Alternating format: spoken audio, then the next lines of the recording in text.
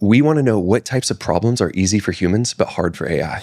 I love that. And and we made sure because if we're going to claim that humans can do this, humans better be able to do it. Humans yeah. better be able to do it. So we went, we got 400 different people down in San Diego, and we tested on tested them on all this, and every task that was in there was solved by at least two people in under two attempts.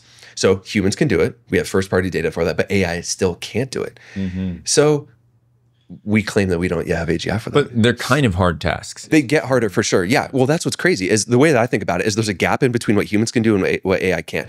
That gap is narrowing.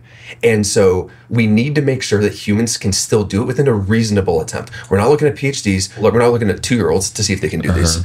Um, a, comp a competent person give them these tasks and see if they can actually do it. So just if you pluck somebody off the streets, they have college education type thing, more or less. So like when we did our when we did our filtering, we made sure that they could use the internet, like th like things like that. Like we didn't. so want my mom is out. we, we, didn't want to teach them how to use a computer when we yeah. taught them what ARC was. You know what I mean? And so, but that that uh, doesn't allow us to make the claim about the average human.